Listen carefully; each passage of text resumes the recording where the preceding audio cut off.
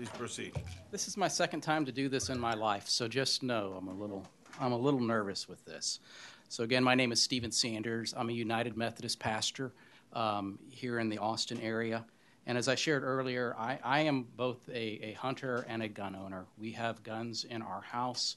Um, my wife requires that they be safely locked away in our gun safe. And so I in no way want to be banning guns from people. But I also have to let you know that as a pastor, I am brought into contact with people who have suffered domestic violence. One of the uh, for- pastors who was formerly on my staff, she also runs a domestic violence shelter. And through her, I have gotten to know dozens of women who have suffered from domestic violence. And let me just tell you the story of one young woman. She and her husband had a four year old daughter, and her husband had been beating her violently. And she had tried six times to leave him, and she could never work up the courage to leave him and protect himself, herself and her daughter until one night her husband po- pointed a loaded gun at her head and threatened to blow her brains out in front of their little daughter. And she decided she had to leave. My friends, um, representatives, I'm sorry, I'm used to calling people my friends when I'm a pastor.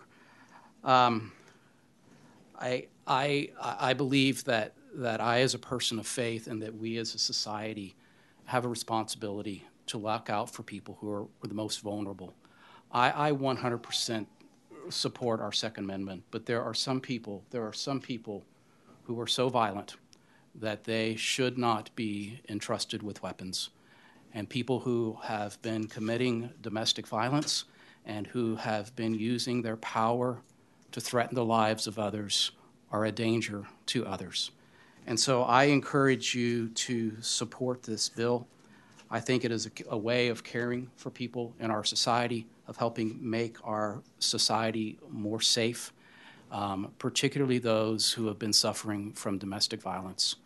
Um, and, and I believe that, that this bill is a very practical piece of legislation that protects the, the victims of domestic violence and those who are being stalked and suffering from, from abuse. So I, enc- I encourage your support.